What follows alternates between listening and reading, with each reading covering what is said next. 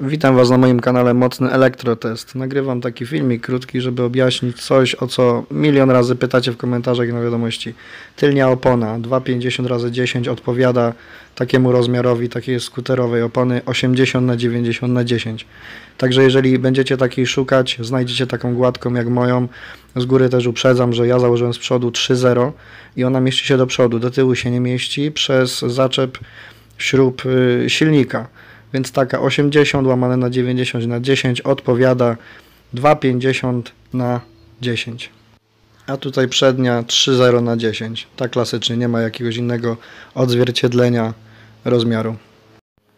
Jeżeli przydała Ci się ta informacja, bo i tak zapewne po jakimś czasie napiszesz do mnie z takiego względu, iż te kostkowe, krostkowe opony no, nadają się tylko w teren, a po pierwsze one są jakieś z miękkiej gumy i prędzej czy później ona może się przeciąć.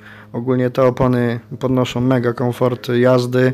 Ogólnie polecam przy zakupie tych opon dać je do wulkanizacji, bo po prostu są tak sztywne, że masakra. Też uprzedzę pytanie, nie są to bezdętkowe opony, są normalnie w zestawie z dętką, z wętlem yy, i tak dalej. Także jedyne co założyć i jeździć. Komfort zwiększa się masakrycznie i zmniejszają się opory toczenia, co też rzutuje na dłuższy zasięg.